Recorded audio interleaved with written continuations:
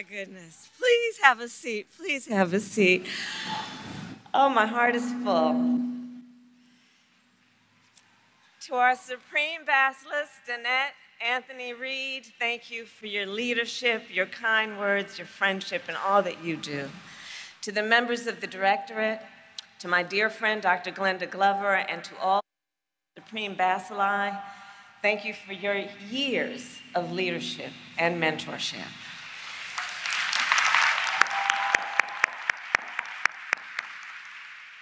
To my line sisters, the 38 jewels of iridescent splendor.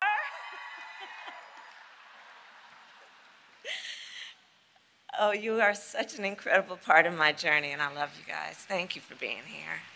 And to all those who serve Alpha Kappa Alpha Sorority Incorporated, it is an honor and a joy to be with you today. Before I begin, I will say a few words on Hurricane Beryl. Our hearts, of course, are with the millions of Texans who are facing the devastating impact of the storm and all those who lost loved ones, and the first responders who have worked around the clock to keep people safe, and the line crews who are working as fast as possible to restore power. President Biden has approved a major disaster declaration, and we will continue to stand with the people of Texas as we rebuild and recover. And with that,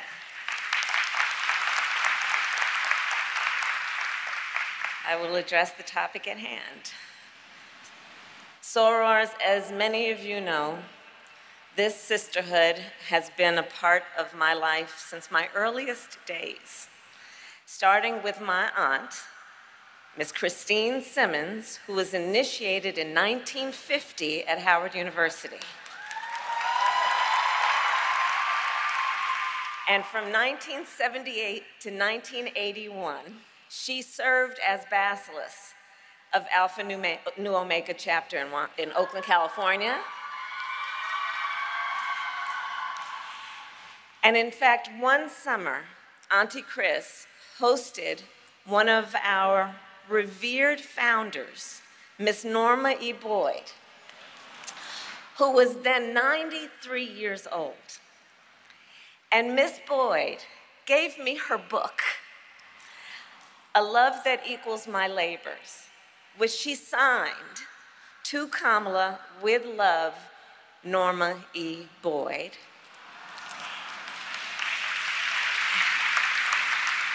And that cherished book now sits in my West Wing office at the White House.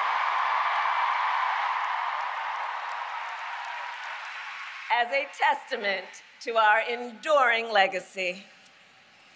A legacy that began 116 years ago when Alpha Kappa Alpha Sorority Incorporated was founded to create desperately needed social and legal change and to build networks of support for black college women.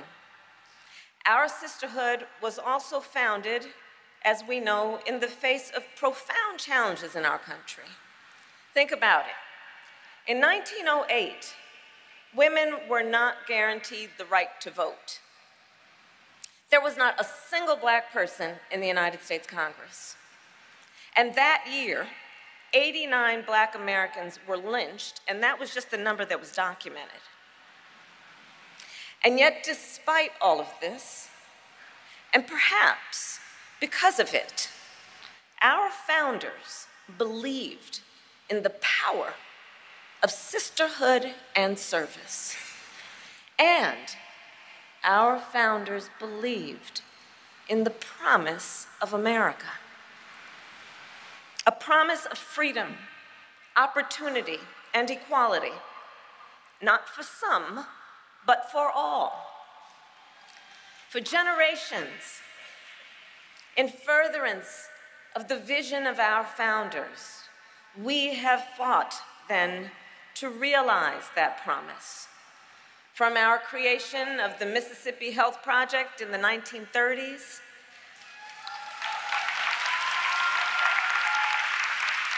to job training and literacy programs in the 1960s and 70s. And then, most recently, of course, the work on voting rights and economic opportunity and child hunger.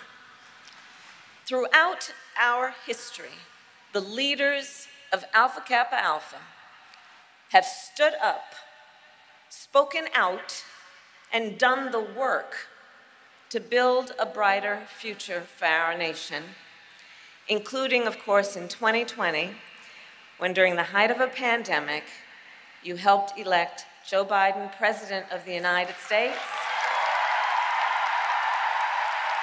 And me as the first woman elected Vice President of the United States.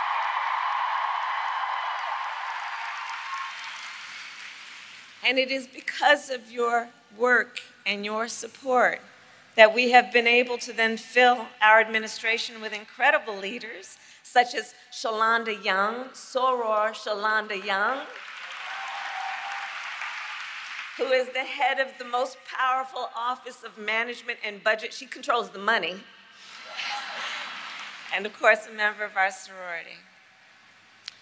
The promise of America the promise of freedom, opportunity, and equality for all people. You know, when we first took office, the president and I knew that to realize that promise, we must address long standing issues, some issues that people just don't like to even talk about. We decided we must, for example, make health care more affordable because the reality is that access to health care should be a right and not just a privilege of those who can afford it. We decided to look at specific communities that have been long suffering on specific issues then, including diabetes. So we decided to address the cost of insulin with the knowledge that black people are 60% more likely to be diagnosed with diabetes. And we took on Big Pharma and capped the cost of insulin for our elders at $35 a month. We knew to realize the promise of America, we must address the issue of student loan debt.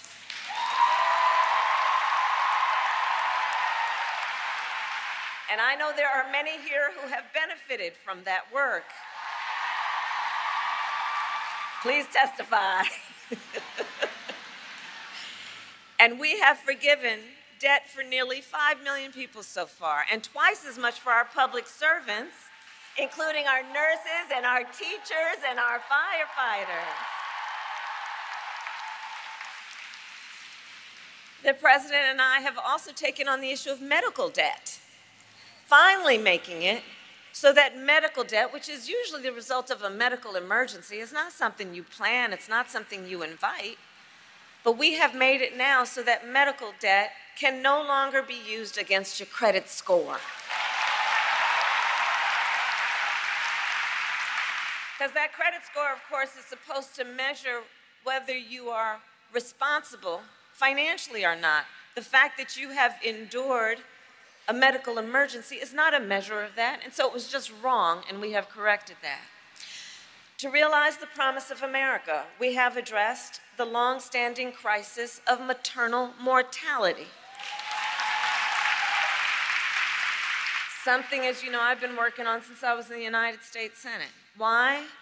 Because women in America die at a higher rate in connection with childbirth than women in any other wealthy nation in the world, and black women are three times more likely to die in connection with childbirth.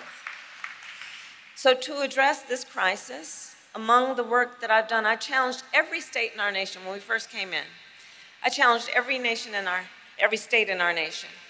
And I challenged them and said, extend Medicaid coverage for postpartum coverage from the measly two months a year that you've been doing to a full year. And I am proud to report that when I issued the challenge, only three states offered a full year of coverage. Now, 46 states offer a four year, full year of coverage.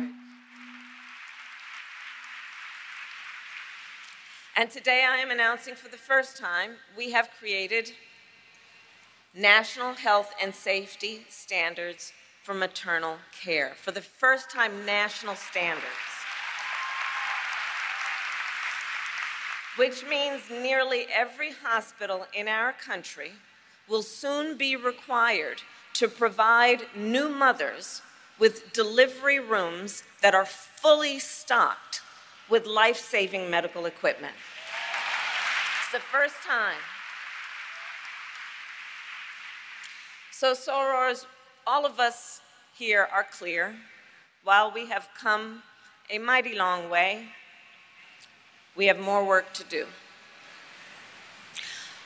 Across our nation, we are witnessing a full on assault on hard fought, hard won freedoms and rights. The freedom to vote, the freedom to be safe from gun violence, the freedom to live without fear of bigotry and hate, the freedom to love who you love openly and with pride, the freedom to learn and acknowledge our true and full history as America and the freedom of a woman to make decisions about her own body and not have her government tell her what to do.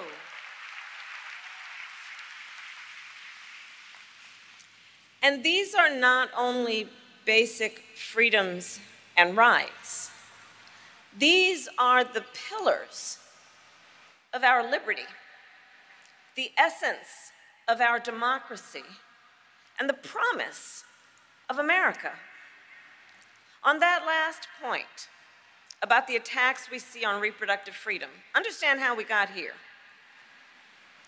Then President Donald Trump handpicked three members of the United States Supreme Court, the court of Thurgood, because he intended for them to overturn Roe v. Wade, and as he intended, they did. Now, two years later, in the South, where the majority of black women call home, every state except Virginia has a ban. Many with no exceptions, even for rape or incest. Now, we all know one does not have to abandon their faith or deeply held beliefs to agree the government should not be telling her what to do with her body. If she chooses, she will talk with her priest, her pastor. But it should not be the government replacing her good judgment with its own.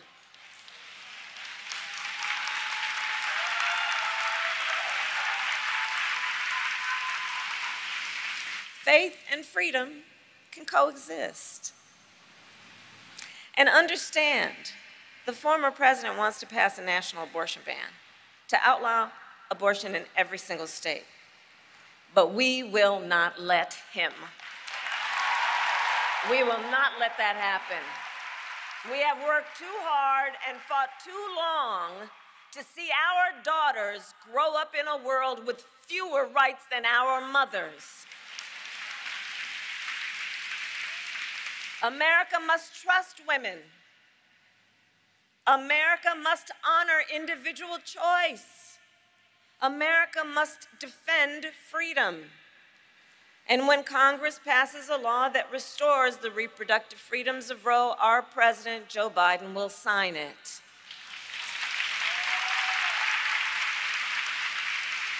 And there is so much at stake in this moment, including last week when the Supreme Court basically told this individual who has been convicted of fraud that going forward, he will be immune for activity we know he is prepared to engage in if he gets back into the White House. Consider Donald Trump has openly vowed, if reelected, he'll be a dictator on day one. That he will weaponize the Department of Justice against his political enemies, round up peaceful protesters and throw them out of our country, and even, and I quote, terminate the United States Constitution. What's more, Trump advisors have created a 900 page blueprint of their agenda for the second term. They call it Project 2025. It includes a plan to cut Social Security, to repeal our $35 cap on insulin, to eliminate the Department of Education and end programs like Head Start. So let us be clear. This represents an outright attack on our children, our families, and our future.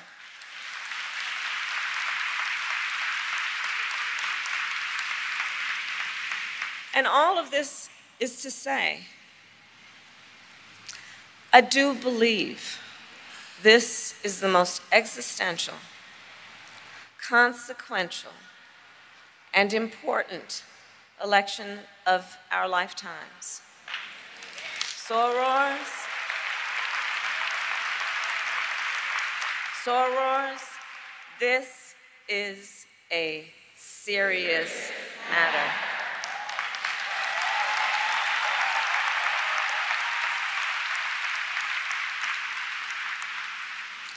And so, in this moment, once again, our nation is counting on the leaders in this room to guide us forward, to energize, organize, and mobilize, to register folks to vote, and to get them to the polls in November. Because we know when we organize, mountains move. When we mobilize, nations change. And when we vote, we make history. So I'll conclude with this. For 116 years, the members of our sorority have been on the front lines of the fight to realize the promise of America. This year, let us continue that work.